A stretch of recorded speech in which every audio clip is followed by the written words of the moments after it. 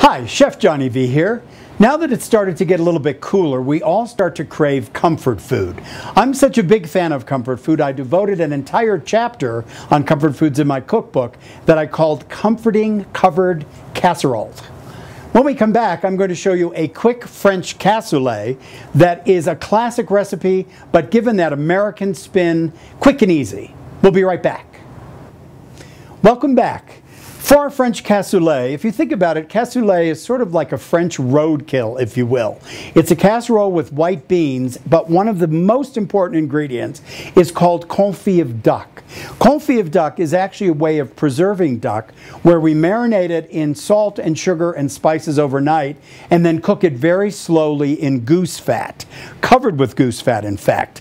To find the full recipe, we'll look for it on our website, but what we're going to do is take our confit of duck and shred it and get it all ready for our cassoulet. And this should be nice and tender and ready to go. Look at how delicious that is. I have to admit I am a leg man. To assemble my cassoulet, which is from the Languedoc region of France, I've already browned my chicken and I've browned my sausage and I'm going to add my confit of duck. Now the reason I refer to this as a roadkill is of course in France you can put anything there. Sometimes would be rabbit, goose, pork. Today we're doing a little simpler version and I'm going to now brown my onions with my confit and my pork sausage just to use that as the fat to brown the onions. We're also going to add our garlic. Just think about all these wonderful flavors coming together. Let those onions brown just a little bit and then we're going to add our chicken, chicken stock and dry vermouth, another key ingredient. I also refer to this dish as sort of a one dish wonder because if you think about it, everything is being done in that same pan. Okay, we've got our chicken stock. We're going to get all those yummy brown crunchy bits off the bottom. Dry vermouth and white cannellini beans. Now, of course, in France, they would have cooked these beans all day long. Because we're at high altitude, we're using canned, rinsed beans, and that is another secret step to making this dish quicker. Drained to canned tomatoes. Oh my God, this smells so delicious already. Uh, fresh thyme, pepper, and some parsley. Let's stir this all together and now we're going to want this to reduce for about 10 minutes just to sort of thicken it up a little bit. This shouldn't really be a soup, it's really more of a stew. And then I'm going to top it with toasted breadcrumbs, just plain breadcrumbs that I sauteed in some butter, and we're going to cover our cassoulet with the breadcrumbs.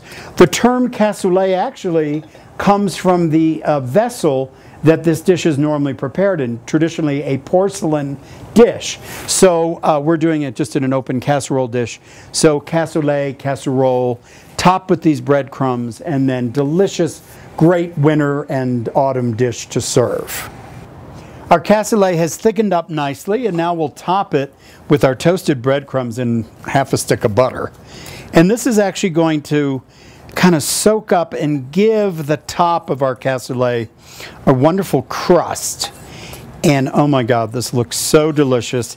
And then into the oven, and really everything's cooked. So all we're doing now is letting those uh, flavors all cook together. And when we come back, we're gonna taste our cassoulet. Our cassoulet is ready. Ici le cassoulet. Ooh, it's bubbling, it looks delicious. Let's get this out, gorgeous. We're going to dish that up. We had a French gentleman that worked in the store for years who has had the traditional cassoulet his entire life, and he actually thought that mine was a pretty good uh, version of it. So let's see what we have here. Ooh. That's for my mystery guest. Oh, yes. Boy, this is going to be hot all of these flavors have come together. Notice our liquid has been absorbed, kind of went into our beans there, so all that flavor will be there.